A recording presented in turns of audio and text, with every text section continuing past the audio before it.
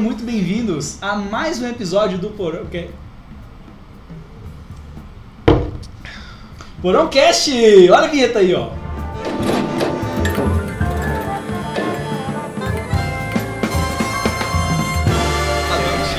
Precisava da dancinha de A dancinha é universal, eu vou continuar com a dancinha enquanto Continue, é colocarem muito bom programa. E bem-vindos ao Porão Cast, segundo episódio da segunda temporada. No último episódio, você deve estar pensando, o Luiz está com a mesma camiseta e o controle do ar-condicionado ainda está em cima da mesa. Mas isso tudo é intencional, né? Eu gosto dessa camiseta, está escrito abençoado aqui, somos abençoados. E agora vamos começar um novo quadro no programa que é Ache o controle. Onde está o controle? A gente vai esconder o controle em todo episódio para você procurar por ele, tá bom? Olha o corte aí, ó. Onde tá o controle, hein? Ninguém sabe, não dá pra ver. Estamos aqui com dois pessoas maravilhosas da minha vida. Eu amo vocês dois. Por favor, se apresentem. Eduardo, qual é o seu nome? Meu nome é Eduardo. Meu Deus. Eu faço sempre essa piada, tem que achar uma piada. É um prazer estar aqui, cara. Primeira vez que eu venho, né? Muito diferente, legal, bacana, tô feliz. É isso, espero que a gente possa falar de Deus. A gente vai. né? Isso aí. Não precisa esperar. É a ideia. Nós É, vamos. a ideia- Se a gente Nós não falar vamos. de Deus, que, esse programa acabe agora. e Flávio, qual é o seu nome? É, Flávio. Flávio. Eu continuo, continua sendo Flávio assim como em todos os outros episódios eu que eu preciso participei. colocar outra piada na minha cabeça pra começar. Vou Pior, pensar pior aí. que você faz a piada, eu fico pensando, por que, que eu posso falar de? Eu pensei que Você o Eduardo ia falar, um tipo, Ricardo. Mônica, meu nome. Eu pensei em falar Henrique Juliano, mas. Prononcast, o único programa que você inventa seu nome. Você pode inventar. Meu nome não é mais Luiz, é Flávio. Não, o meu é Flávio, por favor. Ah, deixa eu ser Flávio. Fica com o do Eduardo. Por que, que eu não posso ser o Flávio?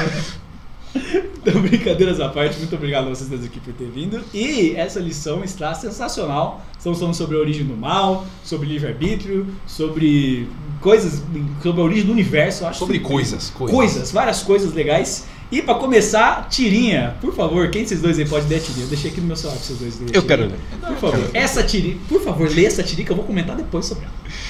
Vamos lá. Subirei mais alto que as altas nuvens. Serei como o Altíssimo. Mirou no trono e acertou no forno.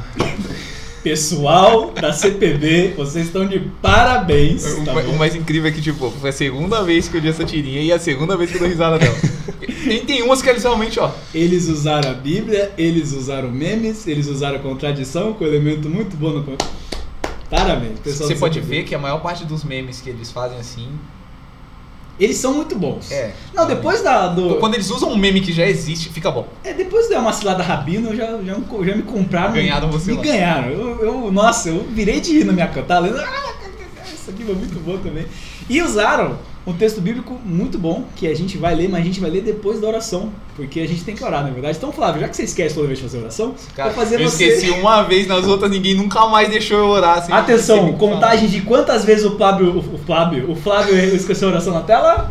Isso mesmo. Parabéns, Flávio. Agora você vai falar. orar, por tudo bem, tudo bem. Tô me dando trabalho na edição, não sei o que eu tô fazendo isso. Vai, olha pra gente. Você gosta de trabalhar com o é.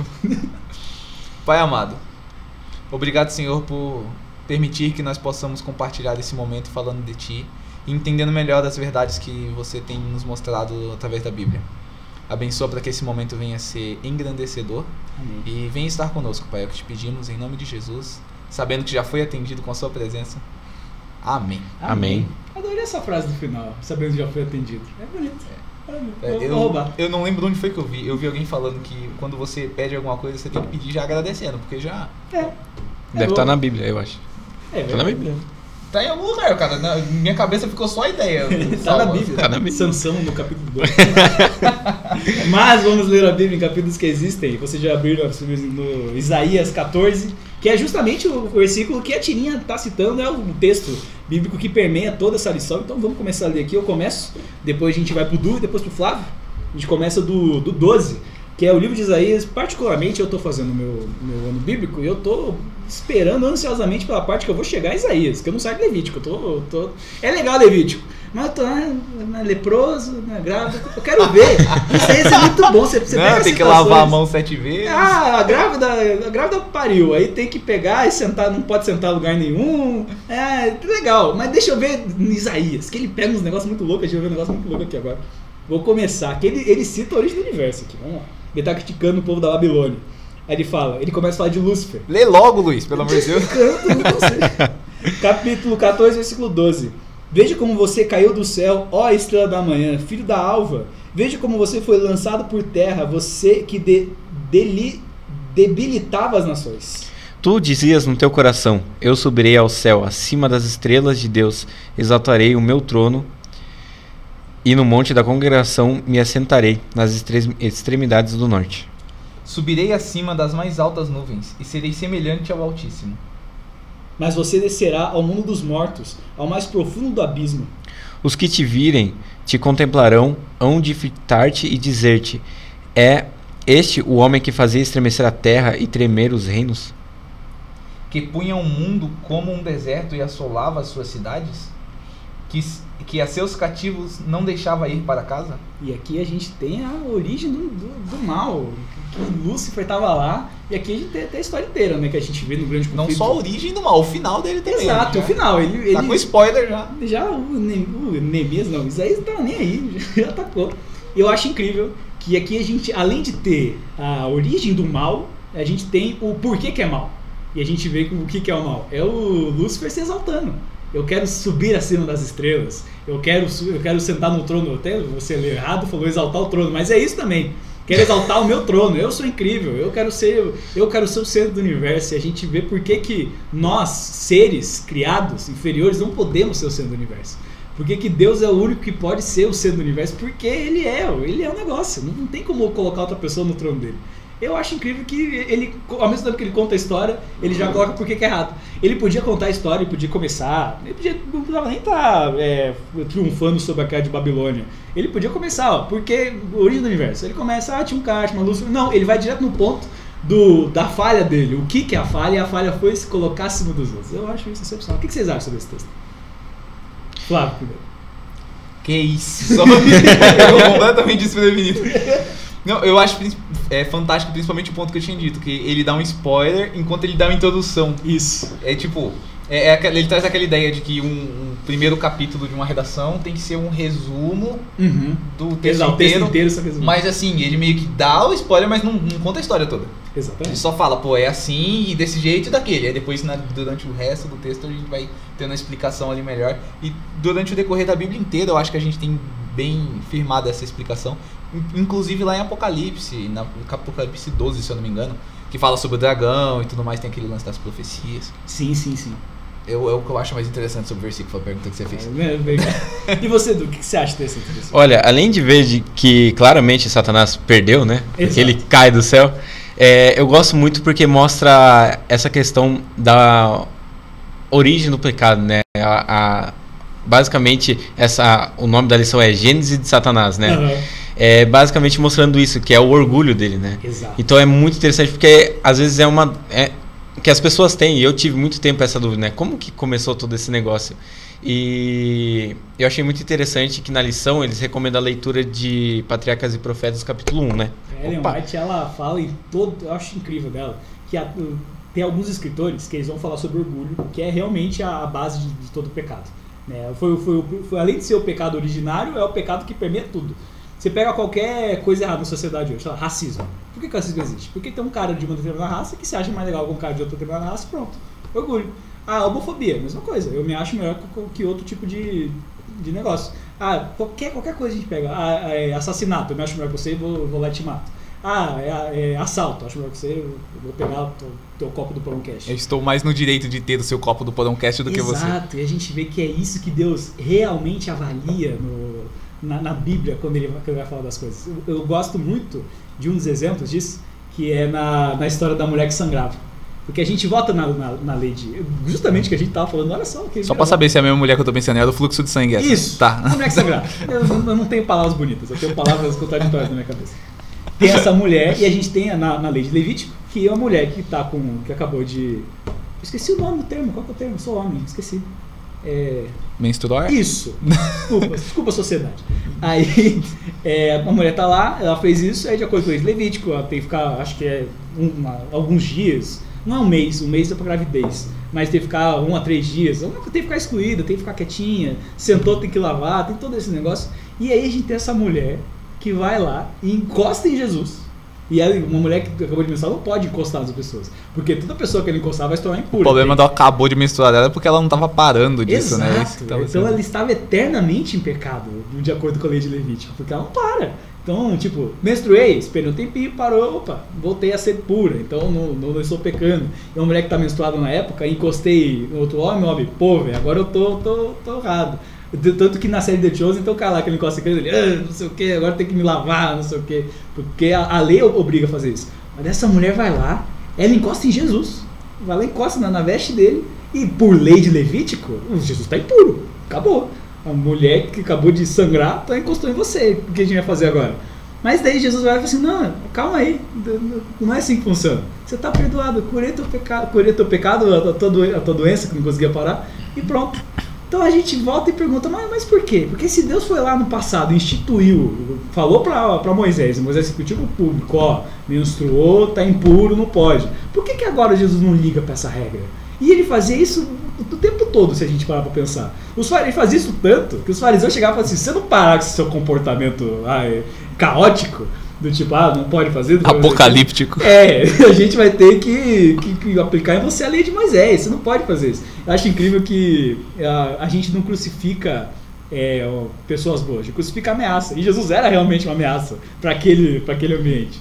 Porque o povo estava dando mais atenção à lei escrita do que à lei de verdade, que é o amor, que é a lei que a gente vê aqui.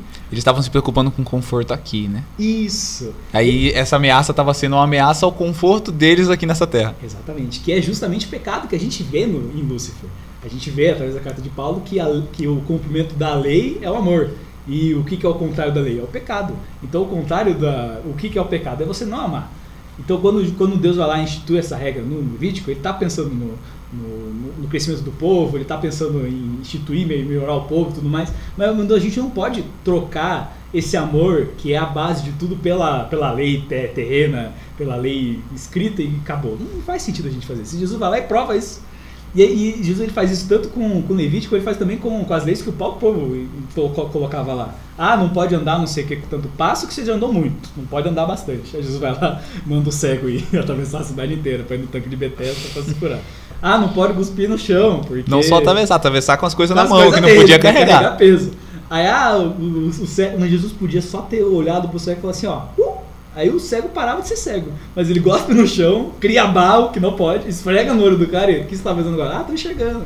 Jesus o tempo inteiro ele mostra que a real lei é baseada no amor. É a gente amar o próximo como a gente ama a gente mesmo e amar Deus acima de tudo. E é justamente isso que Lúcifer não faz. Ele tá se colocando acima de tudo. Essa é uma questão interessante, esse lance do Jesus poderia ter feito de tal forma e não fez. E é o que e entra bastante no tema dessa semana na Isso. questão de, pô, ele não sabia que o diabo ia ser diabo, né? Que tinha adversário, satanás Você e tudo falando mais. isso pra mim agora, eu lembrei do, do podcast do, do Rodrigo Silva com o, com o no Podpah, que fizeram exatamente a mesma pergunta com o Rodrigo Silva. Aí a gente começa a entrar nesse assunto. Tipo, ele poderia simplesmente ter falar, ah, sumiu. Ele. Melhor que sumiu, nunca existiu. Nunca Pronto. existiu. Ele, ele- se ele é um com o tempo, ele pode parar o tempo, uh, esquece, voltou- Apaga aqui. Igual a um editor de vídeo, não gostei dessa parte, ó, eu aperto o comando B, eu pego a setinha de blade, eu tô- esqueci o que aconteceu. Aí eu deixo o vídeo, fa- faço o vídeo de novo. Corta, vamos gravar de novo, esquece essa parte. Mas por que vocês acham que ele não fez isso? Eu acredito porque ele não é assim, né, cara? Ele é justo. Então, assim, é, ele saberia muito bem o que ia acontecer, o, tudo que ia dar ruim, tudo que tá dando ruim ainda, né? Exato. Mas a gente não sabia. E Uhum. toda a criação não sabia. Era um negócio totalmente novo. Então, assim, aquilo precisava estar à mostra. Falar assim, essa é a face do mal, é isso que acontece e é por isso que tem que ser do jeito que era, sabe? Então, acredito que era por causa disso. A gente não sabia, é por causa de nós que tá acontecendo tudo isso. Incrível que tudo que Deus faz, fala e propõe não é pra ele, é pra gente, né? A lei não é pra julgar, a lei tipo julga a gente, mas não foi feita pra julgar a gente, é pra nos ajudar a ser a gente mesmo. Então tudo que Deus coloca não é pra autoglorificação dele. Que se ele for se autoglorificar, ele se torna um Lúcifer, porque o Lúcifer tá fazendo isso. Mas ele só dá de presente pra gente porque isso gera amor e a gente ama ele de volta. Ele é glorificado pela gente. Ele não se glorifica, eu sou. Quer dizer, ele fala, mas quando ele fala é porque ele tá realmente afirmando que ele é, porque ele realmente é. Ele não tá tipo quando eu, eu quero me gabar, ah, porque eu sou não sei o quê, cabelo é grande, blá blá blá blá. blá. Ele não, ele não tá na essência dele fazer isso. Quando ele fala eu sou o Deus, criador da terra, ele não tá se ele tá falando realmente que ele é, porque ele, Ele é. tá falando a verdade. pô. E é mais a gente que fala do que ele. A gente vê você, Deus, que é o Deus de toda A, a criação é, testifica da majestade de Deus, né? Isso, olha que frase. Ó. E eu adorei essa frase que, que você lançou, de que ele sabia o que, o que deveria errar, mas a gente não sabia. A gente deu uma pincelada disso no último episódio, que a gente fala sobre é, o povo no o resto do universo não sabia o que acontecia de, de errado se eu decidir tirar Deus do do meu coração e colocar outra coisa. Essa outra coisa sempre sou eu mesmo. Não, não tem outra, outra ideia. Não consigo colocar. O que acontece? Agora ele sabe. A gente tem escrito, escrito literalmente, escrito na, nas mãos de Jesus, nos dois cravos que tá dele, o que acontece quando você tira ele do, do centro. Eu acho isso sensacional. Eu acho que tem uma vez. Só um minutinho, vou ter uma. Se você dá uma respirada assim. Eu, ia falar alguma coisa, Segura. puxei o ar. É. Uma vez eu tava no- no- na, na internet e eu vi gente discutindo sobre, ah, porque se Deus sabe da história, não tem por que ele fazer, blá blá blá. Aí um cara chegou e começou a dar um exemplo de professor. Ah, porque o professor, se ele não sei o que, eu não, eu não lembro de, de fato o exemplo, fica um exemplo idiota, porque o professor, ah, o- o professor sabe a, a, a resposta da pergunta. Você sabe, mas o aluno, ele quer ver se o aluno sabe. Aí ele vai lá e prova. Ele, e- o, o professor já sabe a resposta da, do negócio, mas ele vai lá e quer, quer ver se você sabe. E o universo não sabia, agora ele sabe. Isso daqui é uma grande prova de matemática, então. Deus estava. Por isso que é ruim. Odeio matemática. Pô, calma lá, eu, eu como engenheiro vou ter que defender a matemática aqui. Vamos virar o assunto do Porocast para defender a matemática. Não, mas é, continuando, Sim, sim, sim. É, o, como o Eduardo falou, o capítulo que tem de recomendação na lição essa semana, Uhum. cara, ô, pessoal, de verdade, fantástico. Muito bom. Leiam. Muito bom. É, eu, eu e o Eduardo, inclusive, a gente leu em chamada junto, a gente tava com a Isa também, que tá ali atrás das câmeras, vocês não estão vendo. Ah, É meio chato, né, você Eu responder essas eu perguntas, pô. É, agora, agora complicou a gente, né? Colocando Eu uma saia justa aqui. Eu eu não tenho amigos, não tem problema. Eu vou fazer uma chamada com os meus três amigos e leio eu mesmo, amigo. Tô brincando, cara. A gente pretende, inclusive, continuar, você tá convidado pra próxima Eu ligação. não quero, quero dormir. Mas foi cedo, né? Aconteceu cedo, né? Que a Foi, gente mano, é no, no horário. É que a gente foi até tarde. Mas então, Mas enfim, voltando. voltando. É. O, o capítulo, ele vem trazendo uma, narra uma narrativa, uma narração. Ele vai estar descrevendo a narrativa ali de como aconteceu a questão de o, o pecado se originando no coração de Satanás. É, não a questão do orgulho em si se originando no coração dele, a, a posição dele no céu, onde Jesus se encontrava com relação a isso, e meio que menciona sobre a duração desse processo de ele chegar conversando com as pessoas. Um ponto que eu trouxe pro Eduardo, se a gente parar pra pensar, quantos anjos existem? Tem muito anjo. Pô, e pensa assim, ele foi no boca a boca, um por um, e levou um terço. É, exato. Então, ó, foi muito tempo conversando com o pessoal. Foi muito tempo ele barganhando com eles. Falando, não, porque esse argumento aqui, aquele ali, sei lá o quê. E vem descrevendo também sobre os argumentos dele. É muito importante de vocês darem uma olhada, pessoal, de verdade. Que Vem descre- que esse não falou até agora? Você- você É, é o capítulo, é, É que o é o capítulo primeiro 1 capítulo. de Patriarcas e Profetas. Patriarcas e Entendi, Profetas. pronto. Aí. Pessoal, leia É o texto. Patriarcas e Profetas? É Não. Patriarcas É que e a gente Profetas. pegou direto no PDF, eu não vi a capa do livro. Deus. Falta alguns denotes pra eu chegar nesse livro, mas eu vou dar uma apressada nos meus. Mas, simplesmente fantástico. Ele vai descrevendo sobre qual é a linha de, de, de argumentação que Satanás foi utilizando e a gente conseguiu chega, ir chegando em algumas conclusões. Normalmente, como o Eduardo ressaltou, inclusive, enquanto a gente estava lendo, ele oferece uma coisa que a gente já. Deus já deu pra gente, ele pega e oferece uma, uma versão deturpada dessa coisa que ele deu pra É gente. engraçado porque ele, ele vem, ele quebra a ideia do que tá rolando no governo de Deus, ele fala que isso aqui tá errado, ele oferece a mesma coisa. tipo, falando que vai ser Só melhor. com ele lá. É, é, liter- É, então, tipo assim, ele vai lá, de- deturpa tudo que Deus tá fazendo como, e tudo tá dando certo. Aí ele fala assim, cara, eu vou te dar a mesma coisa. Porque, é porque é mais importante ele. É, Cara, exatamente. legal. Não, e um lance mais interessante ainda, quando a gente chega lá pra Adão e Eva, pô, a cobrinha apareceu na árvore falando, e aí, Eva? Sabe um negócio que você não tem chamado liberdade? que Já tem. Deus já que tinha você tem. dado, deu pra todos os seres, inclusive para o, o- o antigo Lúcifer, né? Uhum. Agora não é mais Lúcifer, mas ele também tinha isso. Aí ele vem falar, não, pô, toma aqui essa liberdade, mas não é liberdade. Não É, é exatamente o oposto, porque tá deturpada. A partir do momento que você deturpa a liberdade, ela deixa de ser É liberdade. justamente o contrário da liberdade. O pecado vem para tirar o teu livre-arbítrio. A liberdade vem para eu vou te dar livre-arbítrio. Se realmente quiser fazer o mal, você vai. Deus vai ficar do teu lado. Não faz isso, é ruim. Olha só, tá aqui escrito, processo profético, vai fazer isso, blá, blá, blá, blá. Mas se realmente quiser, vai lá e faz. Lúcifer não dá esse, esse, esse viés pra gente, pra fazer o que você quiser. Você fica mais preso ainda. Puxa mais a corrente ainda. Legal esse texto. É, Eu achei realmente muito interessante. Não só isso. Tipo, tanto a questão da, da argumentação dele, como eu disse, mas também ele vem trazendo aquela questão de. Pô, mas e se ele tivesse arrependido? Será que alguns dos anjos que estavam com ele se arrependeram? Aí, Cara, essa nossa, parte ó, é muito, legal. bom, porque deixa muito claro que ele teve muita chance de se arrepender e que ele pensou em se arrepender, sabe? Uhum. Só que foi o, ó, o ponto final ali foi que ele sabia que ele estava errado e ele continuou no erro por orgulho. Exato. Sabe? Ele falou, cara, eu não quero voltar atrás. É isso, e eu vou continuar. É engraçado porque mostra também, depois que eles são expulsos no céu, que ali Satanás já não tinha mais jeito. Ele escolheu o caminho dele e é aquilo. Mas os anjos que foram com ele ainda tinham volta. Porque eles estavam sendo enganados. Exato. Sim. Tipo, tra- traz bastante isso. Do mesmo jeito que ele tava trazendo essa ideia deturpada e tudo mais, o pessoal tava realmente acreditando. Tem uma frase que ele fala, eu não lembro das exatas palavras da frase, mas fala que é, até pelos próprios anjos, pô, criação direta de Deus ali, sem interferência de pecado ainda e tal. É, era difícil pra eles entender a parte da malícia que tava no, no- Sim, na, sim, sim. na pregação ali do Eles não Satanás. sabiam o que era, esse é o ponto. Você- Pra você entender uma coisa que você não, não, não existe ainda, que é essa malícia, não, não tem o que fazer. Dá pra culpar os caras? Mas, mas pra mim, tipo, de longe, eu já. Vários. Não, não, esse pedaço é muito bom, é aquele também. Mas de longe, de todos esses, a melhor parte do texto inteiro é, é a questão de que os anjos que compreenderam a, a parte onde aquilo estava errado e que defendiam que a adoração deveria ser só a Deus, só a Trindade ali e tal, é, eles pregavam para esses anjos que estavam com o entendimento torpe, né? A, a ideia torta de ir acompanhar Lúcifer. E eles insistiam, e é a mesma coisa que a gente tem que estar fazendo com nossos irmãos, né? Porque, Exato. pô, ele continua enganando. Ele tá enganando muita gente por aí.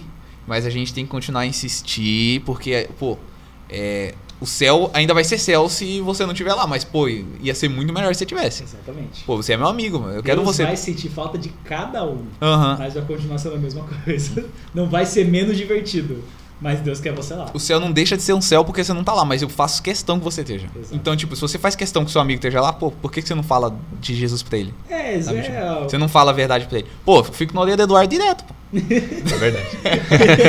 que bom. A gente consegue assemelhar a Jesus. E é- eu acho ótimo. Quando a gente consegue simplesmente assemelhar a Jesus, a, a gente chega nesse, nesse centro, nessa aguinha do suco de espremer todo esse evangelho, que Jesus é bom, é isso. E a gente faz isso com qualquer coisa que é boa também. Se eu vou num parque de diversão e o parque é bom, um parque não vai te chamar um parque só porque você não foi. Mas eu quero você lá do meu lado. Quero você gritando, montanha russa é, é a mesma coisa com Jesus. A gente consegue é, explorar cada ponto de Jesus e mostrar que ele é completamente bom. Eu adoro quando a gente começa a falar de Jesus como se fosse, sei lá, um filme da Marvel. A gente, Jesus é muito bom, caso não tem ideia. Uma coisa que a gente comentou sobre Jesus, lá quando a gente estava estudando a lição, A lição que fala sobre Jesus, por que, coisa Não. será que Não, mas foi que assim, é, eu fiquei com dúvida num ponto, porque assim, Lúcifer em algum momento ele se achou que merecia o que Jesus tinha. Ah, Hum. sim. Né? Esse ponto é muito legal, cara, porque em algum momento ele falou, cara, esse cara é igual eu. Por que, que eu não tenho uma coisa que ele tem, que é o contato com Deus Pai, né, e saber dos propósitos de Deus?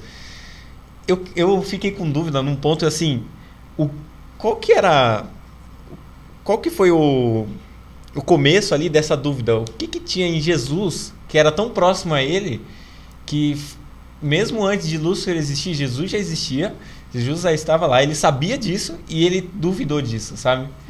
E daí a gente estava comentando, né? Ellen White comenta que o arcanjo Miguel é Jesus. E se a gente parar para pensar de quando Jesus veio aqui na Terra e se fez homem para estar com a gente, a gente pode imaginar talvez algo parecido lá no céu Hum. de que Jesus estava como um anjo lá, só que ele estava um passo a mais porque ele tinha contato direto com Deus. Só que ele estava como um anjo para ficar próximo da, da criação, Sim, sim. entende? É a história Então, do tipo assim, cara com aquário lá. né? É. Sim, sim, sim. Aí nesse momento, Satanás fala, cara, ele é igual eu. Só que daí tem até aquele. é, a- aquele momento que Deus reúne todos os anjos e apresenta Jesus e explica tudo que né, está acontecendo. Só que o que eu acho muito interessante é Jesus estar como um anjo. Ele tá. Pra Ele- ficar perto. Eu acho isso incrível. Eu, inclusive, tem uma história muito boa sobre isso que eu escutei. Eu, não, eu queria muito achar esse vídeo de novo. Foi quando o pessoal foi lá em casa. Você tava também, inclusive. Que foi o Nicolas e o Luiz Eduardo. Eu acho que eu tava lá. Ele mandou um vídeo eu fiquei, que vídeo maravilhoso. Porque ele tava explicando a, a origem de Jesus, uma teoria.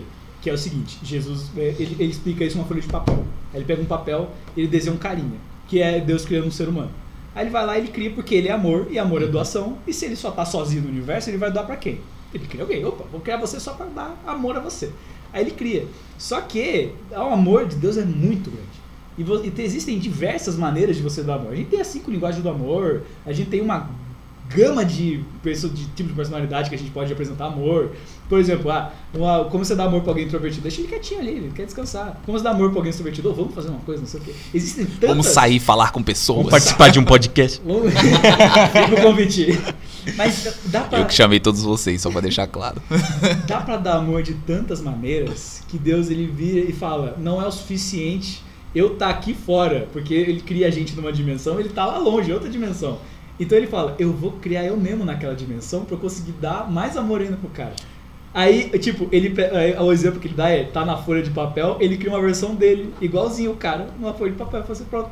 Agora isso aqui é a minha Lembrando- versão no universo de vocês, igual um anjo, pra conseguir habitar no meio de vocês. Lembrando que isso é uma teoria didática e Exato. Jesus não foi criado. Exato. É, Sabe? exatamente. É, Vamos né, de estabelecer aqui bem claro. cabecinha Só pra aqui, gente ó. entender o que tá acontecendo. Pra gente, cabecinha minúscula, entendeu? E de fato, eu acho que isso é uma parte que a gente nem precisa nem saber, porque a gente precisa saber que Deus é amor e ponto. Isso não. Isso é uma É, é coisa o que eu falei é- do, do resumo da introdução, né? Exato. Pô, Deus é amor. Começa daí. Acabou. É isso. Ah, isso é uma coisa que eu gosto muito, que escritores, quando escrevem livros, eles têm um objetivo. A Bíblia é igual. Jesus escreveu o livro com um objetivo, apontar para falar quem ele é, quem Jesus é, quem Deus é. E é amor. O resto, ah, mas não entendi por que, que Elias era careca. Então vai, detalhe. Tem gente que pergunta, ah, por que, que a ursa? Mas um detalhe. A gente precisa entender que Deus é amor e a Bíblia faz isso muito bem. Sim. Exatamente muito bem. Daí, desse exemplo, eu acho muito bom porque ele realmente ele, ele cria não só o ser humano, mas os seres do universo nessa imagem e semelhança. Ele usa essa palavra, imagem e semelhança. Então a gente consegue olhar pra ele e falar, ele, ele é só ele é Deus, só que eu, entendeu? Eu consigo olhar. Tem um texto muito bom. Eu não vou conseguir citar o texto original porque eu escutei uma citação desse texto no livro do C.S. Lewis, Os Quatro Amores. Que ele é uma história onde está contando, é uma história que tem anjos ficcionais e eles não têm um corpo físico. Então quando eles vão se abraçar, eles meio que entram um no outro. Aí ele fala tipo, ah, você me ama? Como assim te amar? Eu sou você. Sabe? Eu, eu me pareço tanto com você que isso é amor. Eu me identificar. E é por isso que ele vai lá, vai lá e, e se faz no meio da, da gente. Tanto como Jesus físico aqui na Terra para morrer, quanto no resto do universo, eu acho isso sensacional. Eu imagino, inclusive, aí já é minha imaginação. É. Que Vamos imaginar. da mesma é forma como Jesus tem a versão dele anjo, a versão dele humano, ele também deve ter uma versão pra cada um dos seres criados e tudo mais. Eu acho Pra estar Aí- próximo, né? Aí, Porque aí é a função do filho. Exato, e tem um ponto muito bom. Porque quando o, o juízo final acabar e tudo mais, Jesus vai viver com a gente. Exato. Em forma humana. Aham.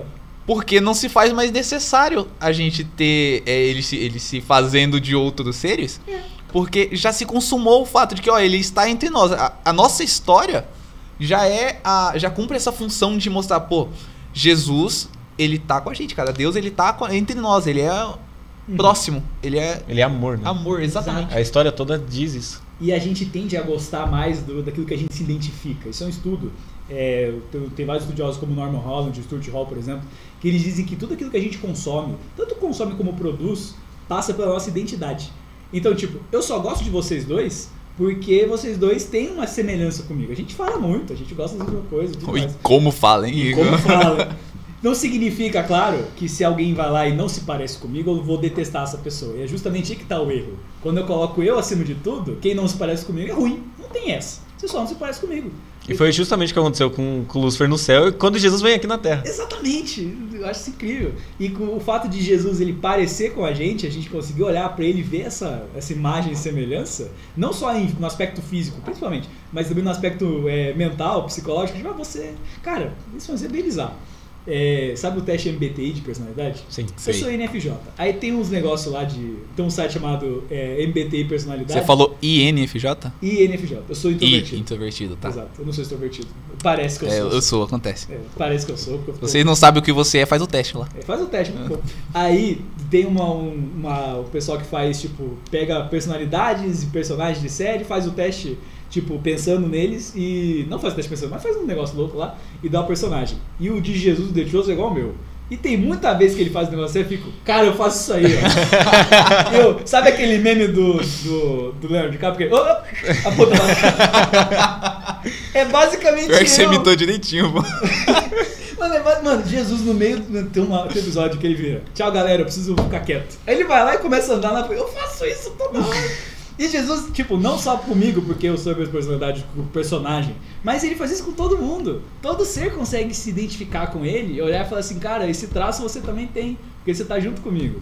E o erro é justo, o o erro é justo quando o quê? Quando eu coloco isso acima dele, que a minha personalidade é a melhor. Pô, Acima- se, se Jesus é parecido comigo, a coisa que me agrada vai agradar ele. Exatamente. Aí já começa a entrar na mesma linha de raciocínio que um certo anjinho ali Certo. teve- certa vez teve, né? Certo, não qual palavra feia eu posso usar nesse podcast. não vou usar nenhuma. É, eu acho assim, cara, cara, e tem um outro conceito muito bom. Não sei quanto tempo tá esse podcast, mas vamos nessa.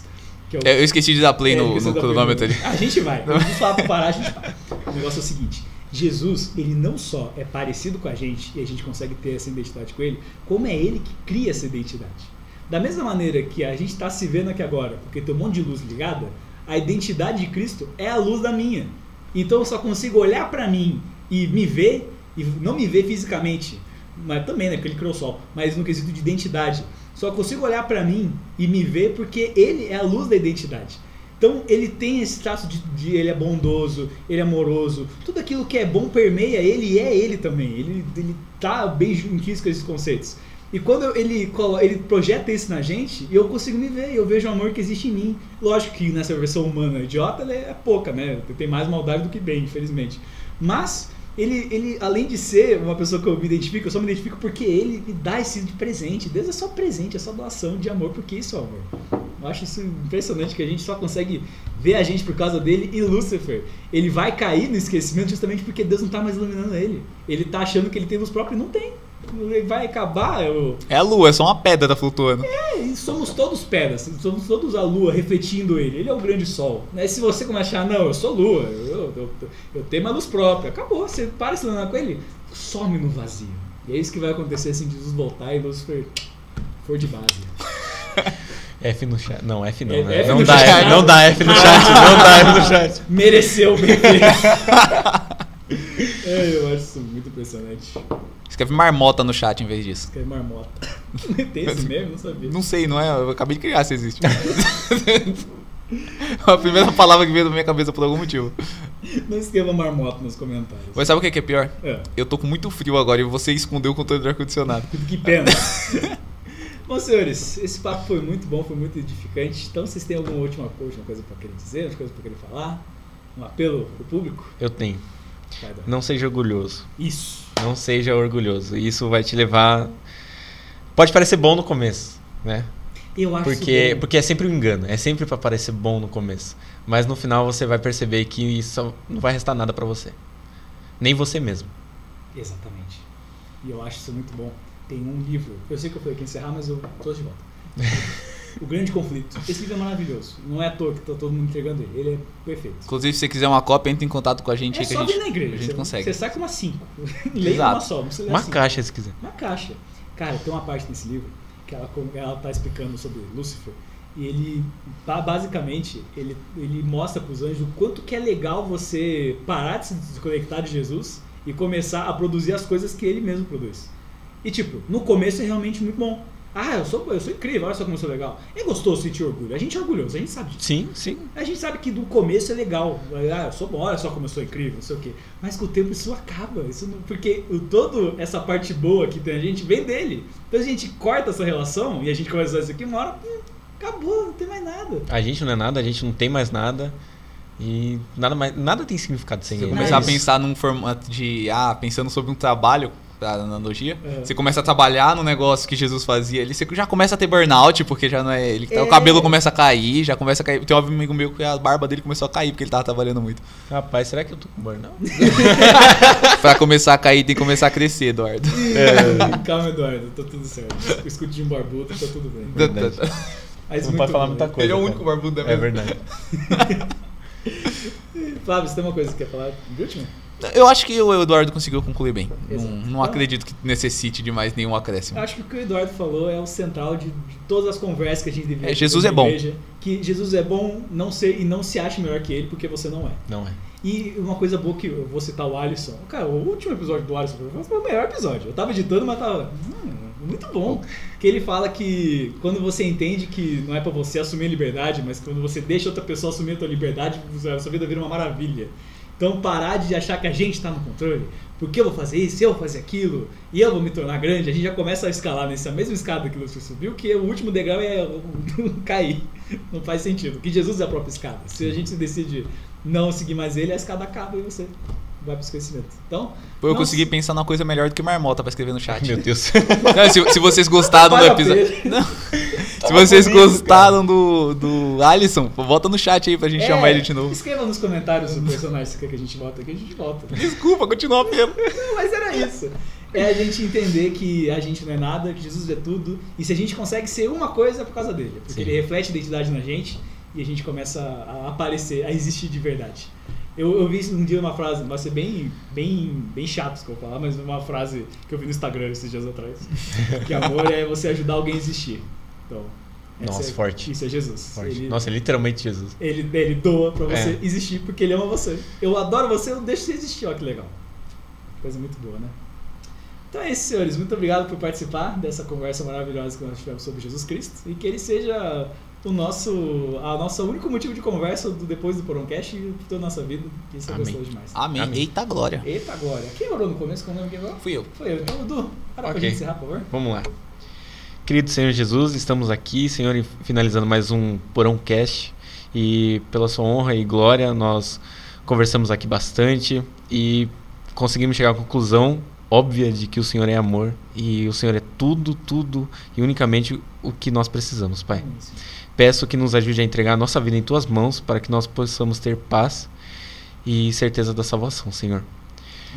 Meu Pai, abençoe todos nós aqui, a todos que estão assistindo, que vão assistir e entrego a nossa vida em tuas mãos.